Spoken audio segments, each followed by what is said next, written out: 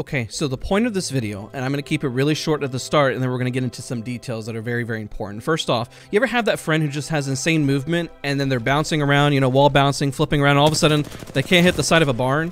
And then you have the opposite person who moves around like this, crouching up on people without any reason, right out in the open, but then all of a sudden they can land every single shot and have perfect recoil control right? I call these the extremes on both ends, and I, I think both of them are honestly a major problem. And I'm to highlight today how you train these and how you isolate them, because there's a lot of different things I want to talk about here. To add some clarity is why you train these fundamentals, which is more or less the goal of this video to remind you to train them. You train until you feel so confident and comfortable you don't make mistakes, and focus on other fundamentals that make you a better player. Now, to add even more detail to this, is that as you train, you're going to run into other players that are going to be even more comfortable. So let's say you're a gold level of comfort, but you want to get to a diamond plus level of comfort within a certain specific category. That can be within aim, game sense, positioning, which is what we're going to discuss right now. Now, when we're discussing the basics when it comes to playing Apex Legends, we have game sense, general game sense and as a whole knowing where your teammates are at. You have positioning you have communication you have just an understanding of your utility then you have aim and of course you have movement. Now each of these categories deserves a bit of attention I'm always very concerned about the player who can move but can't hit anything, and I'm concerned about the person who can aim but has no sense of positioning. These are all very, very important to really isolate. It can be very basic, such as just practicing over and over again to make sure you can get your super zipline jumps over and over again. I have in the link down in the description down below. The whole point of this video is that there's a lot of resources online, whether it's my content, whether you learn how to tap strafe and do it on my channel, such as even putting like scroll wheel, and you doing a super zipline jump is simply, you know, pressing interact and then scroll wheel down just to spam the input of jump. You know, and if you want to tap strafe, you know, you slide forward and then you use your scroll wheel to spam W forward.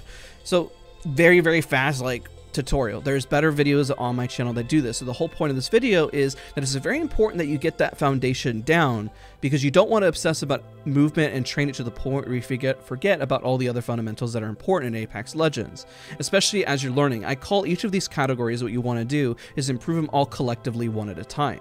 So now in the next portion what I want to discuss here is really talking about things such as like AimLab, which is a very important resource and they're actually sponsoring today's video.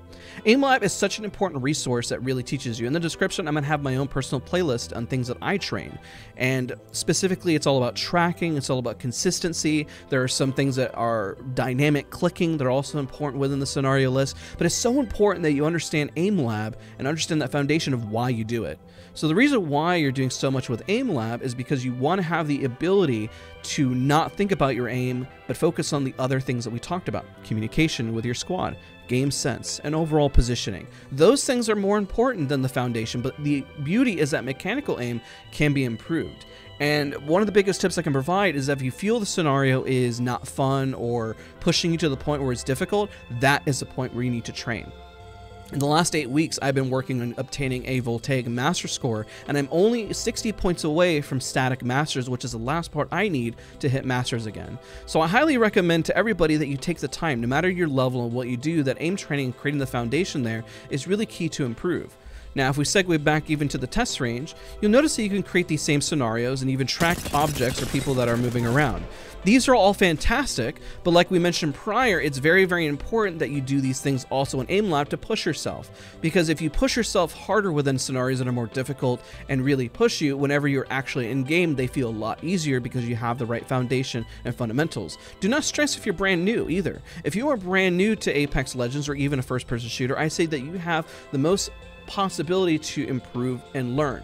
There are so many bad things that I learned fundamentally wrong as I was improving in FPS shooters during my time, specifically within games like Battlefield, whether I was playing Overwatch and then, you know, migrating over to Apex Legends.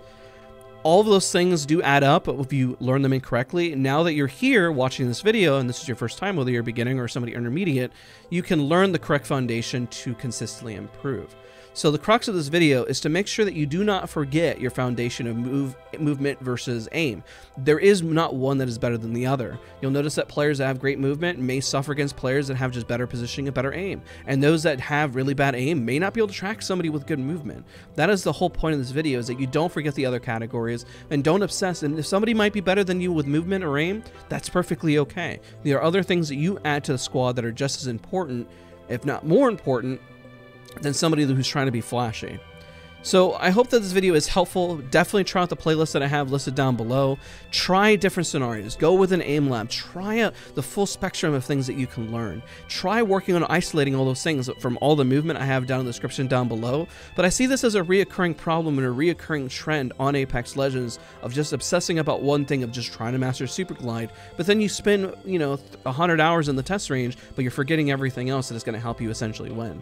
So I hope this video is helpful for somebody. Let me know what you think about the playlist. Let me know about any guides. If you want an updated movement guide talking about the comparison, let me know. But this whole purpose of this video as we wrap up and close out here is movement versus aim is a non debate. It doesn't matter because you want all of your categories and what you do to all be strong and equal. You don't want to be weak in any one sector. So take the time, go in the test range, improve practice, and I'll see you guys all in the next video.